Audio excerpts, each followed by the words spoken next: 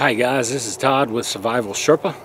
I'm here today to talk to you about stalking and some of the techniques that I've learned um, from Mark Warren at Medicine Bow, a school of primitive earth lore up in Dahlonega, Georgia.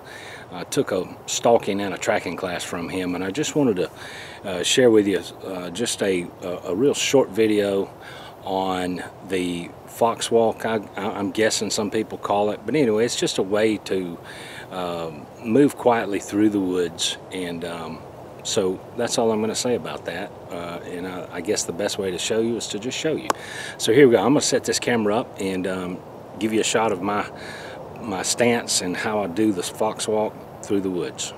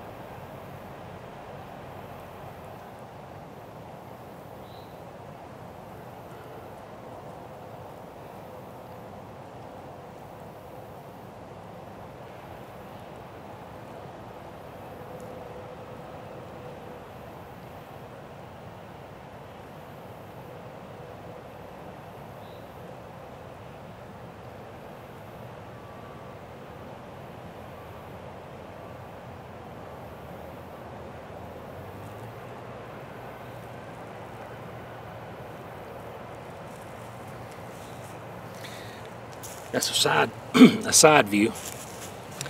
What I will what I'll do now is just let you see from behind on uh, what the in line, how we try to keep our feet in line in a and basically those steps there were not really ultra slow ultra slow motion um,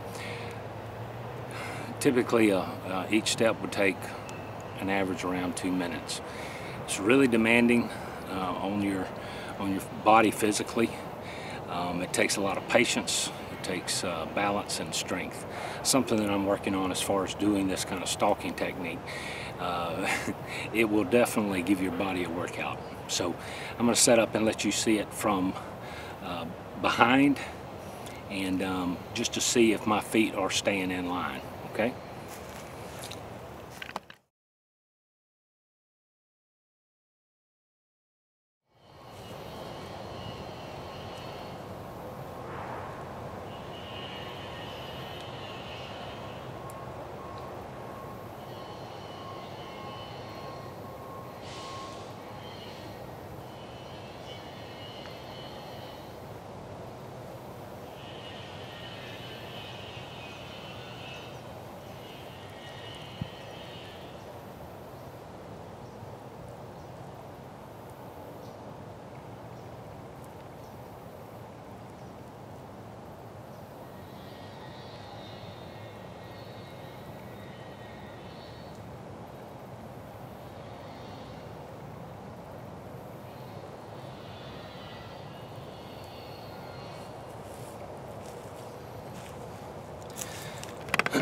Now, as you can see, probably, I haven't viewed what I just shot, but um, you can see I'm still shaking a bit um, with my balance. Um, so, you know, it's just something you've got to work on and practice. So, but the, the, the main thing is to get the, get the ultra slow motion, keeping your arms in so that you're not out here looking like a human.